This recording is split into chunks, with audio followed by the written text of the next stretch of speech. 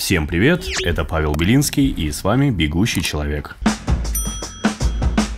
Порядка 300 бойцов ОМОНа из Чечни отправились в зону проведения специальной военной операции. Об этом сообщил в своем телеграм-канале глава республики Рамзан Кадыров.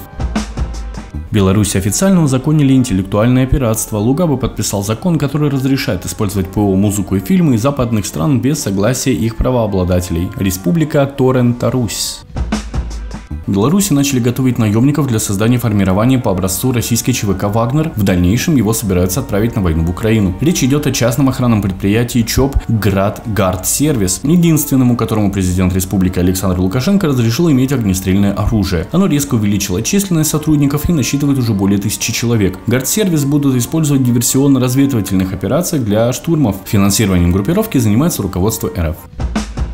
Самолеты Аэрофлота Бангкок-Москва посадили в Самарканде из-за беременной женщины, которой стало плохо во время драки на борту. Рейс оказался несчастливым во всех смыслах. После вынужденной посадки самолет пришлось менять. Как сообщают очевидцы, драка произошла из-за одного хамоватого пассажира. Он объявил себя важной персоной и потребовал особого отношения. Стюардесса отказала мужчине, после чего он напал на нее и толкнул. Депаши раскрутили, а вот из-за переполоха одной из пассажирок стало плохо. Женщина была беременной, поэтому экипаж принял решение садиться в ближайшем аэропорту. Это был Самарканд. Самарканд. По словам пассажиров, посадка прошла жестковато. После приземления людей несколько часов не выпускали из самолета. Пассажиры надеялись, что скоро они все же полетят в Москву, но беды на этом не закончились. Оказалось, что у самолета техническая неисправность и борт летать пока не может. Пассажиров высадили в аэропорт, их разместят в отеле и отправят в Москву другим самолетом аэрофлота. Так что с одной стороны можно считать, что это счастье, потому что поломка могла выявиться и в воздухе.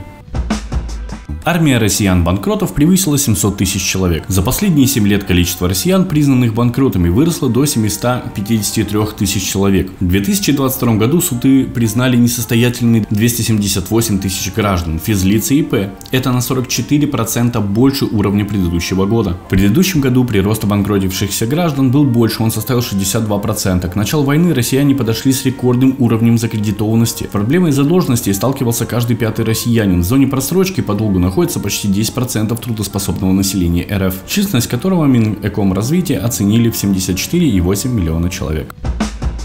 33% россиян зависят от выплат от государства, это 42,7 миллиона человек. Для 31% пособия основной источник дохода при этом всего 39% из 6 россиян получат зарплату, это 58,4 миллиона человек. На визуализации основные источники доходов жителей. Если быть точнее, то первая строчка это те, кто зарабатывает деньги, все остальные это электорат Путина или те, кто дует социалку. А, еще стоит добавить, что все, кто в первой графе, либо умерли, либо уехали, либо потеряли работу.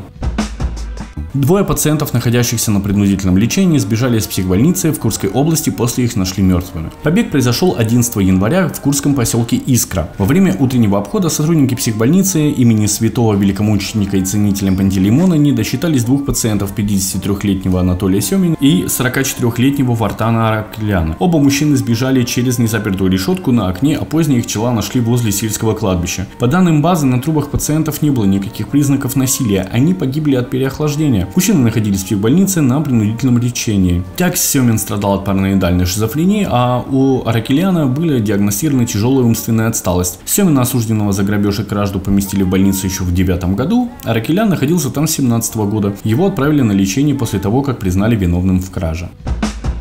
Медведев отказался верить, что россияне топят дома дровами. Зампред Совета Безопасности, лидер Единой России, экс-председатель Совета директоров Газпрома Дмитрий Медведев заявил, что пока за границей переходят на уголь и дрова, россияне радуются газификации. Самое главное, есть улыбки на лицах людей, которые только что получили газ. Мы их только что видели, да? Ну что называется, почувствуй разницу. А кто-то переходит на уголь и дрова, но это не у нас, похвастался он, цитата от РИА Новости. Между тем, по статистике, каждая пятнадцатая российская семья согревает дома и квартиры с помощью печей. Это около 4 миллионов домохозяйств. Согласно данным Росстата, за 2021 год 12% от общей площади жилья в РФ не оборудовано отоплением, то есть любым видом теплоснабжения, от центрального до личного или общедомового котла. Печь или электрические обогреватели отопления не считаются в сельской местности дровами или углем, обогревают 27,5% жилого фонда, в городах 6,5%. Самая тяжелая ситуация в Туве. Здесь на печном отоплении около 90% домохозяйств, за Баграйском крае порядка 50% Бурятии 43, еврейской автономной 40, в Алтайском 39. Приводим данные профессора кафедры экономической и социальной географии РФ МГУ Натальи Зубаревич. А я вам напомню, даже в моем родном поселке, рядом с которым находится несколько газоперерабатывающих и газодобывающих промыслов, знаете что? Правильно, газификации нет. Например, так же, как и нет газификации в других городах, где рядом находятся промыслы, но газификации нет.